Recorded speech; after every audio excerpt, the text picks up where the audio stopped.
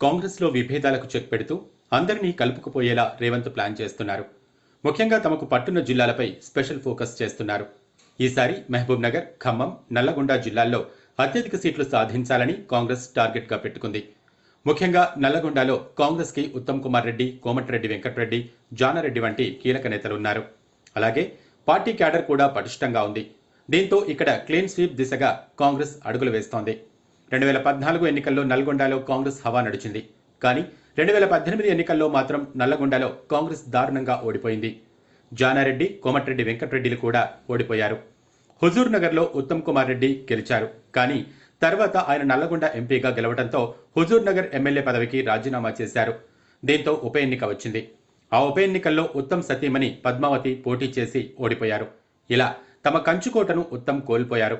అటు జానారెడ్డి ఉప ఎన్నికల్లో కూడా ఓడిపోయారు. ఇటు కోమటిరెడ్డి నల్గొండ అసెంబ్లీలో ఓడిపోగా తర్వాత భువనగిరి ఎంపీగా గెలిచారు. వచ్చే ఎన్నికల్లో ఈ ముగ్గురు నేతలు అసెంబ్లీ ఎన్నికల్లో పోటీ చేయనున్నారు. కోమటిరెడ్డి వెంకటరెడ్డి నల్గొండ లేదా భువనగిరి స్థానాల్లో పోటీ చేసే ఛాన్స్ ఉంది.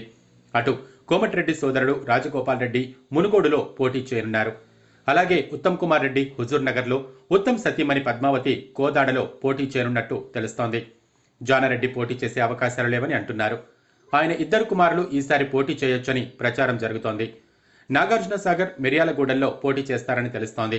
కానీ ఎవరు పోటీ చేసినా ఈ మూడు ఫ్యామిలీలు ఆరు సీట్లలో ఈసారి విజయం సాధించడమే లక్ష్యంగా పనిచేస్తున్నారు. అలాగే వీరి అనుచరులు ముఖ్య నేతలకు మిగతా సీట్లు ఇచ్చి నల్గొండలో అన్ని స్థానాలు గెలిచేలా కాంగ్రెస్ ప్రణాళికలు రచిస్తోంది. మరిన్ని అప్డేట్స్ కోసం మా కాయ్ టీవీని సబ్స్క్రైబ్ చేసుకోండి.